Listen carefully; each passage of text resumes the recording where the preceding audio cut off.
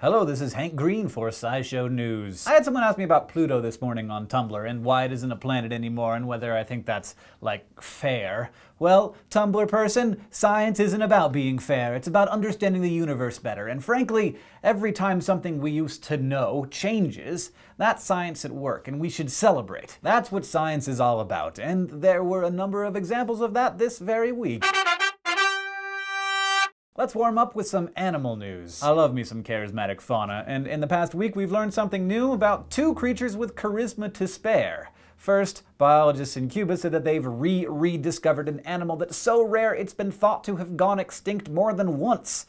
It also carries the distinction of being one of the very few venomous mammals on Earth. The Cuban Solenodon is a nocturnal carnivorous mammal found only in a tiny corner of eastern Cuba. It was thought to have gone extinct by 1890 and again in 1970, but in 1975 three of them were captured by scientists and only two had been seen alive since then until this spring, when a team of Cuban and Japanese biologists managed to capture and study seven more. So, for now at least, they're still in the running, existence-wise. The Solenodon's most unusual feature is its venomous saliva, which it injects into its prey, usually small reptiles and insects, through hollow teeth. Only five other species of mammal, mostly rare kinds of shrews, are known to have poisonous spit like this, and they, along with male platypuses, which have venom in the spurs of their hind legs, are the world's only known venomous mammals. But this hasn't protected the Solenodon from its greatest threat, invasive species. The Solenodon's tropical habitat has been overrun by feral cats and black rats over the past century, and it doesn't help matters that they pretty much suck at self-defense.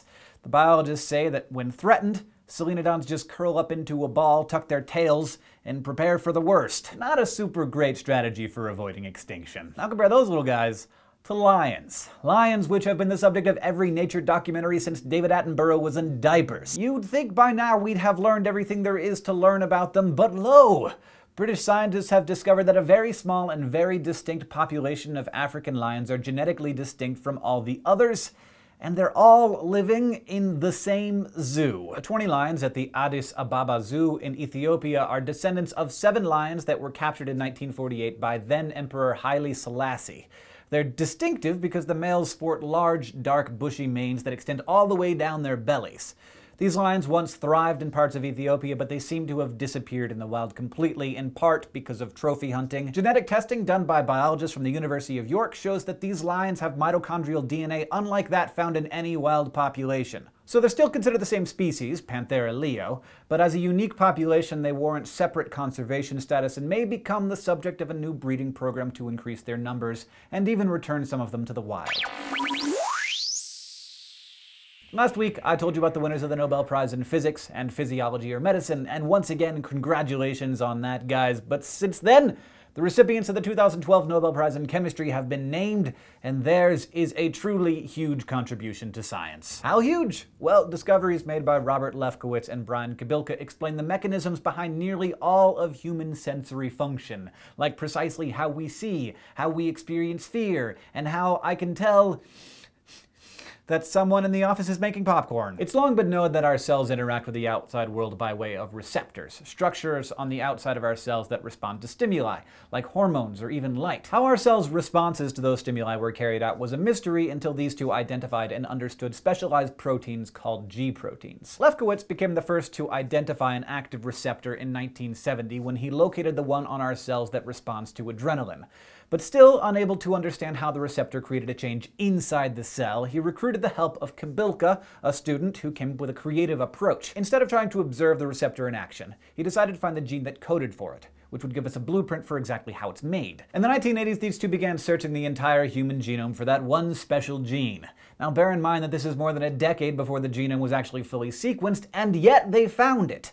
After analyzing the gene, Lefkowitz and Kobilka discovered that the receptor for adrenaline has the exact same structure as light receptors in the back of our retinas, seven long fatty molecules that straddle the membranes of our cells. So, they theorized, most of our sensory receptors, now known as G protein receptors, were basically the same everywhere. And once they understood the structure of the receptors, Lefkowitz and Kobilka were able to figure out how they worked. When a hormone or other stimulus activates the part of the seven-piece receptor on the surface of the cell, it changes the shape of the part that's inside the cell, allowing it to connect to those G proteins. The proteins then break up into little messenger chemicals that go around telling the cell, look, there's a cute kitten, or you're in danger, or there is bacon in this room. So the next time you experience a sensation of any kind, remember that you have Lefkowitz and Kobilka to thank for understanding how. Finally, some more new knowledge that's erasing some things that we previously thought we knew. First, where did the moon come from? Now there's a question that's pretty much hanging over your head every day. Eh? For decades, scientists have theorized that the moon was formed when a small planet slammed into Earth very early in its history. But the problem is, the chemistry of Earth and the chemistry of the Moon is surprisingly similar. If the Moon was created by an impact of another planet, the theory goes, the Moon would resemble that planet, not Earth. But this week, scientists from Harvard University and the Southwest Research Institute report in the journal Science that they figured out how such a collision could have resulted in Earth and the Moon having such similar compositions. Simulating the impact with computer models, they found that the conditions were probably a lot different than scientists had assumed. For starters, the interloper that smashed into us was much more massive than was thought probably about the same mass as early Earth, and more importantly, baby Earth was spinning twice as fast as it is now. In this scenario, a giant impact would create a huge spinning cloud of mixed up material that would eventually accrete to form the Earth and Moon with similar chemistry as we know them today. Now, another question that we would all like answered, why can't we bring back the dinosaurs? You know you want to. But the problem is that fossilized dinosaur tissue has never yielded viable DNA, so despite the best wishes of Michael Crichton, Steven Spielberg, and five-year-olds everywhere, cloning T-Rex is impossible. Last week, in the Proceedings of the Royal Society B, Australian paleontologists explain why. They studied the DNA from 158 different bones, all of different ages, of an extinct bird called the moa. By comparing the relative rates of decay in the samples, the scientists were able to measure the half-life of DNA at 521 years, meaning that half of the existing bonds in a DNA sample decay in that time, and then half of what's left decomposes over the next 521 years, and so on. From this, they extrapolated that even under the best conditions, DNA could remain intact for no more than 6.8 million years. So dinosaurs, which, except for birds, disappeared about 65 million years ago, are a done deal, I'm afraid.